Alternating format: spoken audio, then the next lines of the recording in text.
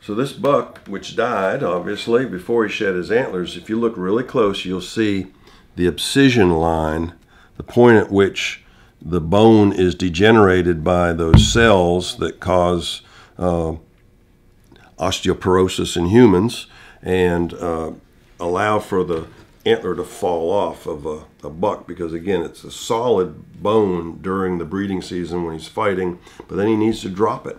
And that abscission line uh, the cells degenerate pull the, the mineral out of the bone and then it falls off if you look at this particular antler right here an avid sportsman found it uh, it was so fresh that there's even you can see the dried blood on the base of the uh, base of the antler where uh, it's got that rough texture, but the dried blood is, is visible there.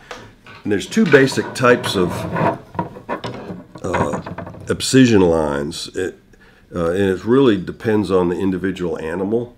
Some bucks, uh, the abscission line is directly below the burr line. And you can see in this case, it's, it's just flush with the burr.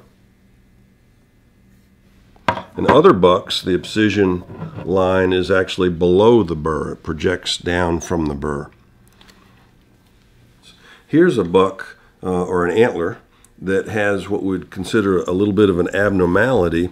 is the, the abscission area is projected off of the burr, which is normal. But if you look closely here, there's uh, an extra projection that is not normal.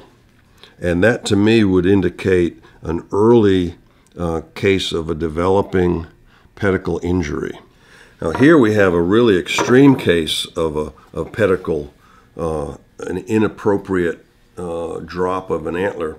Uh, the the pedicle is basically broken off. Now we don't know if this was dropped this way or if it was broken off, but uh, this is clearly a, the, almost the entire pedicle came off with the antler.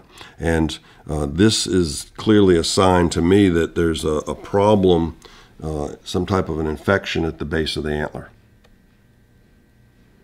Here's a more extreme case where uh, a buck dropped his left antler and you see the projection, the abnormal abscission line where the, the, uh, the demineralization of the pedicle was much deeper in this area of the antler, and that's indicative of a again a developing problem. So I know that this guy had a real problem because uh, the person who found this left side also found his right side, and uh, if this was a problem in the development, this is a problem in, in real real time here. This is an abscission line that went way too deep.